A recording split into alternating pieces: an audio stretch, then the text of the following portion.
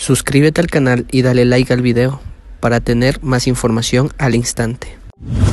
Atención, en este video vamos a hablar de los detalles de lo que le pasó a Alvarito Novoa al día de hoy. Fue hospitalizado en una clínica de Guayaquil, pero su situación es estable. Fue hospitalizado en la clínica Kennedy en Guayaquil, donde hay un fuerte despliegue de seguridad con militares e incluso grupos especiales de la policía en sus alrededores.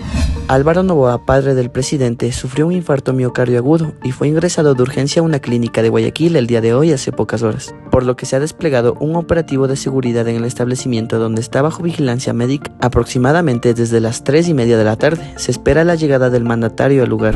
La última aparición pública de Alvarito ocurrió el 9 de octubre pasado durante la sesión solemne presidencial por la independencia de Guayaquil, cuando fue condecorado con la Orden Nacional al Mérito por el grado de Gran Cruz pero lo que sí es confirmado es que su situación es estable y en estos momentos se encuentra bajo vigilancia médica.